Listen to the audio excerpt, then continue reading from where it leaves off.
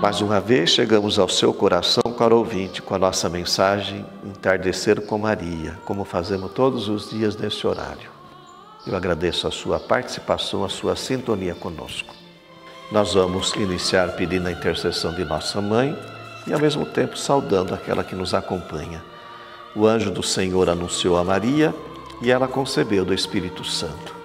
Ave Maria, cheia de graça, o Senhor é convosco. Bendita sois vós entre as mulheres, e bendito é o fruto do vosso ventre, Jesus.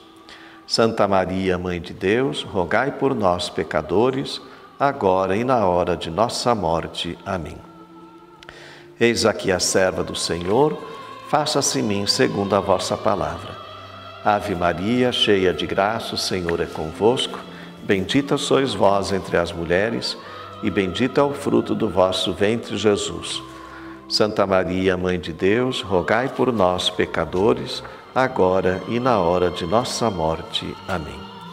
E o Verbo se fez carne e habitou entre nós. Ave Maria, cheia de graça, o Senhor é convosco. Bendita sois vós entre as mulheres, e bendito é o fruto do vosso ventre, Jesus. Santa Maria, Mãe de Deus, rogai por nós, pecadores, agora e na hora de nossa morte. Amém. Rogai por nós, Santa Mãe de Deus, para que sejamos dignos das promessas de Cristo. Oremos.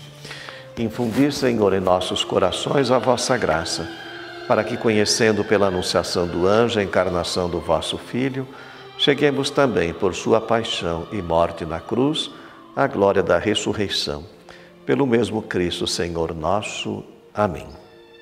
Mostrai-me, ó Senhor, vossos caminhos e fazei-me conhecer a vossa estrada. Vossa verdade me oriente e me conduza, porque sois o Deus da minha salvação. Ao aproximar-nos, irmãos, do Natal do, vosso, do Senhor, vamos pedir que Deus nos conceda a misericórdia que o Verbo veio revelar para nós. Né? Esse Verbo que se encarnou no seio da Virgem Maria, que ele possa também nascer em nossos corações. Vamos agora receber a bênção do Senhor.